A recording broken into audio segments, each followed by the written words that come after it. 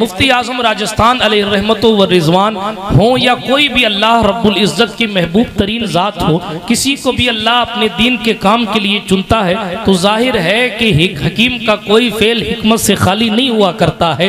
राजस्थान का सूबा संगलाक सूबा है। राजस्थान का इलाका, राजस्थान का राज्य, जहाँ देखें रेगिस्तान ही रेगिस्तान नज़र आता है। आप सत्तर साल पहले जाएँगे तो फिर इस राजस्थान की शक्ल सूरत क्या रही होगी? जब पाकिस्तान का वजूद नहीं था तो फिर राजस्थान की हालत क्या रही होगी? इसका अंदाज़ा आप लगा सकते हैं। इसलिए कि मुफ्ती आज़म राजस्थान, जब राजस्थान आए थे, उस वक्त तक पाकिस्तान नहीं बना था। अभी आपने हज़रत से सुना, बिरादरान मिलत इस्लामिया। पहली बात तो ये कि घर की जो बात है, वो घर वाला बड़ी बेहतरीन अंदाज से बयान कर सकता है।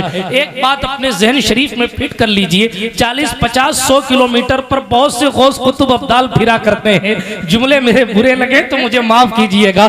हज़ार किलोमीटर दूर जाने जाने के बाद कोई भी पीरे मुगा बन जाता है, मास्टर साहब। हज़ार किलोमीटर दूर जाने के बाद कोई भी जनाबे वाला बदरे तरीकत बन जाता है। सौ, पाँच सौ किलोमीटर बाहर निकलने के बाद किसी के भी तारीफ़ के गलगले शुरू हो जाते हैं। मगर जनाबे वाला, जहाँ वो सारी ज़िंदगी गुजारता है, जहाँ उसका घर है, जहाँ उसका मोहल्ला है, जहाँ वो रहता है, जिसके साथ उसकी रिश्तेदारी है, जिसके साथ वो सफ़र करता है, अगर वो लोग तारीफ़ करना शुरू कर दे तो आप यकीन जाने की यकीन यकीनन वो बंदा लाइक तारीफ़ है, वो बंदा काबिल सताइश है कि सिर्फ़ दूर वाले इनकी तारीफ़ नहीं करते।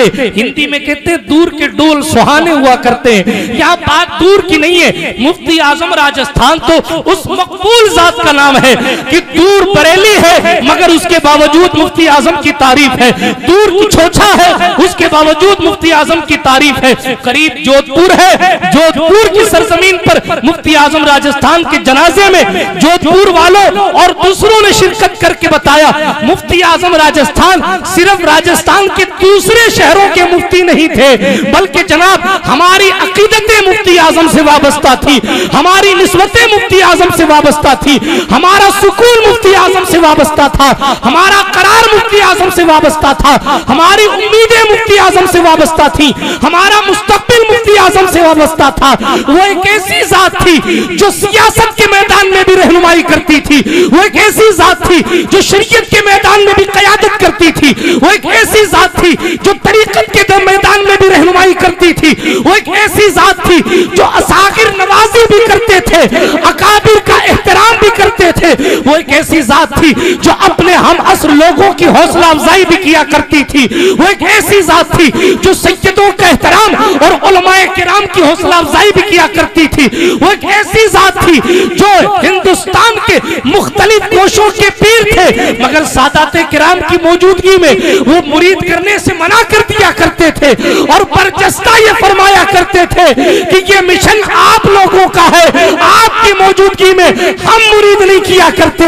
जो मुफ्ती आज़म राजस्थान की सीट पर बैठा हो, राजस्थान के एक एक शहर का आलिम, अपनी अकीदत जिसकी बारगाह में अब अपने अपने अंदाज में पेश करता हो, जिसके एक इशारे पर पूरा राजस्थान शहर में उमरने के लिए तैयार हो, जिसके एक हुक्मनामे पर पूरा राजस्थान चाँद का ऐलान कर देता हो, जिसके एक जुमले पर पूरी सुन्नियत मुतहिद हो जाती हो, कोई अपने